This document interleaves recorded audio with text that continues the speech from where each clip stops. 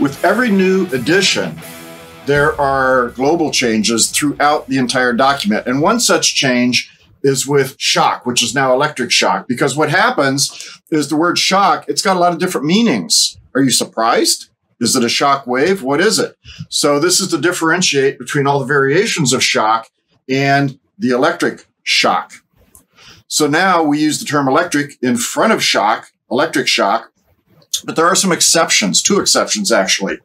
There is what is known as a hearing protection boundary and a lung protection boundary. Both of these terms use the word shock.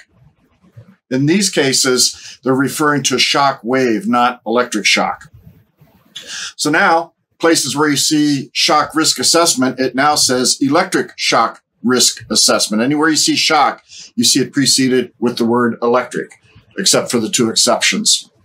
Electric shock appears 63 times in the 2024 edition. So this was quite a, a uh, sweeping change within NFPA 70E. Now there was another change, and this has to do with an ASTM standard. There's a newer ASTM standard that came out in 2021 that is for protectors.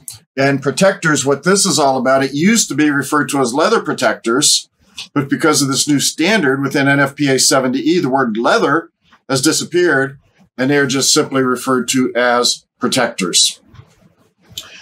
Another change each article within NFPA 70E is required to have a scope. Believe it or not, not all of them did have a scope, and the scope will always be dot one of each article. So scopes were added to these articles here. There were scopes already for these articles right here. So now each article is going to have a scope.